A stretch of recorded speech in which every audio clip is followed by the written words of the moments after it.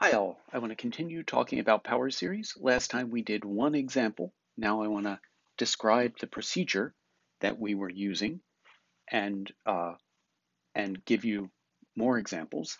And let me just remind you of the key fact, which is key facts, which are that if you have a power series, it's always going to converge on an interval that is centered at A, that is centered at this point in the um, the, the, at which the series itself is centered, x minus a to the k. So centered at a means it's going to be all the points from a minus some number to a plus some number. Um,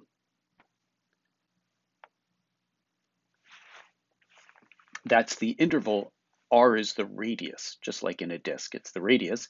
So all the points from a minus r to a plus r, and um, possibly including the endpoints.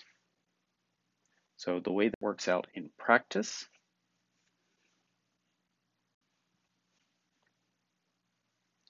is this. Somebody gives you a power series and you are trying to figure out where it's um, where it converges. You start with a ratio test.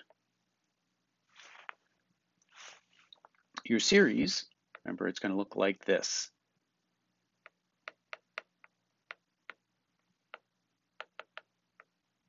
There's going to have some stuff that involves k times x minus a to the k. That x minus a to the k, if you ignore the fact that x and in this level of generality a are unknowns, is some number to the index. So it's an exponential term. We know how to handle those. Um, but remember, it can be positive or negative, depending on whether x is bigger or smaller than a. So when you deal with the absolute value in that in the ratio test limit, that absolute value has to remember whether x minus a is positive or negative. So that becomes the absolute value of x minus a raised to the k. Uh, you're going to take that limit and hold on to all the way throughout that expression, absolute value of x minus a, you're going to always end up with the absolute value of x minus a times or divided by some number. So we can say if it's times, you can take the reciprocal. That number is going to end up being the radius of convergence. So because remember, the ratio test says that that limit uh, which will always end up being absolute value of x minus a divided by some r, converges absolutely when that limit is less than 1. Okay? And, uh, and as I say here, sometimes r will be 0 or infinity. We'll see what that looks like in examples, but most often it's a number. So that means, so once you've completed the ratio test, you know it's the series is going to converge for absolutely for any x that satisfies this inequality we can simplify that inequality by multiplying both sides by r to get the distance between x and a is less than r. It means we're talking about all the points x within a distance less than r of a. So that's the interval centered at a of length 2r, of radius r. And one way to see that is to say if the absolute value of a number is less than r, then that number has to be between plus r and minus r, and now you can add A to all three sides of the inequality. Okay? When you add the same number to all three sides of an inequality, you should give off a uh, evil superhero laugh because of the sheer powerful joy of it. And you're left with a minus r is less than x is less than a plus r. So the interval from a minus r to a plus r the series is going to converge absolutely inside that interval. It's going to diverge when this up here, uh, the when the x minus a over r is greater than 1. So that is, it's going to diverge outside the interval.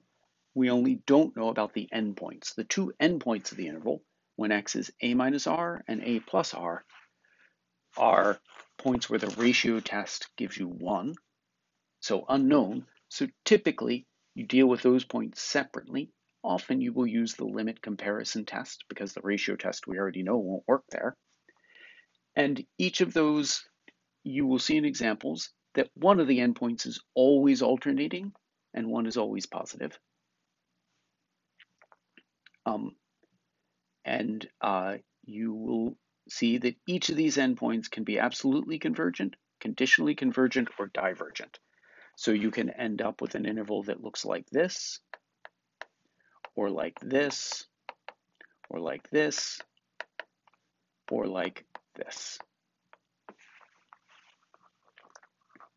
Okay, so let's take an example. Our first example is the sum n equals 0 to infinity x to the n over n factorial. Since x is equal to x minus 0, we can think of this as a power series centered at 0. Most of our power series will be centered at 0, but we'll have to consider a larger number. So you plug this expression right here into the limit of the ratio test. So on the denominator, you put x to the n over n factorial. In the numerator, all those n's become parentheses n plus 1. You flip the denominator over, so now n factorial is on the top, x to the n is on the bottom, x to the n plus 1 is on the top, n plus 1 factorial is on the bottom, and you let friends play with each other, put n factorial with n plus 1 factorial, abs x to the n plus 1 over abs x to the n, and the same game we always play, n factorial over n plus 1 factorial just becomes 1 over n plus 1. Any number to the n plus 1 over the same number to the n becomes just that number. So we're left with absolute value of x divided by n plus 1 as n goes to infinity, no matter what x is. That approaches 0. Okay? Since 0 is less than 1, that means that this series converges for all x. So the interval of convergence is minus infinity to infinity, and that means we think of the radius of a convergence as infinity, okay? Um, so the series is absolutely convergent everywhere.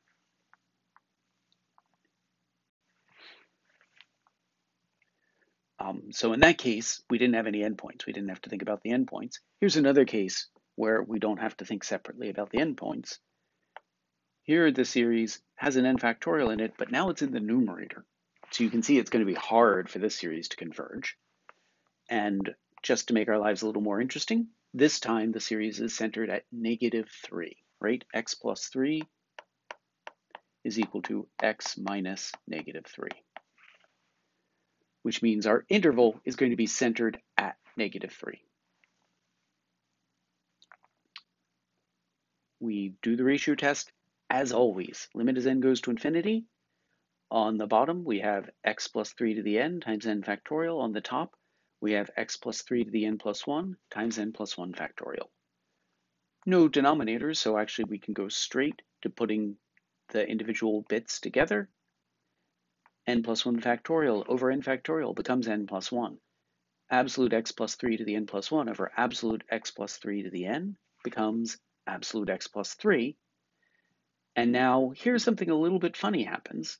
So this is just n goes to infinity, absolute x plus 3 times n plus 1. Whatever x is, except negative 3, this is some non-zero number times n plus 1. As n goes to infinity, this goes to plus or minus infinity.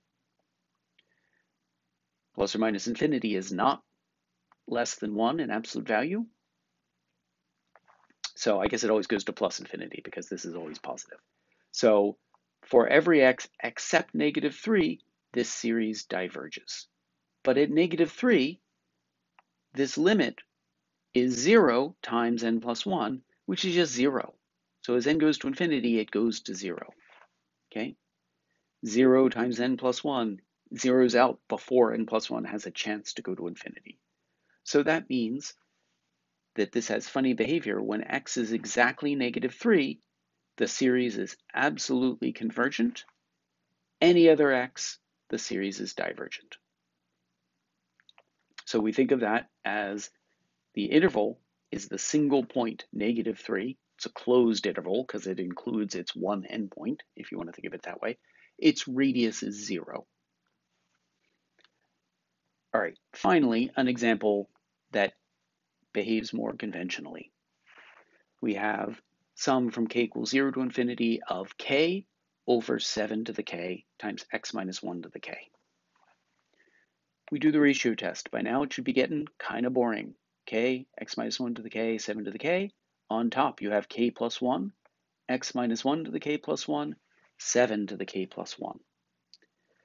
Flip over the terms, put them together, you've got a k plus 1 on the top over a k on the bottom.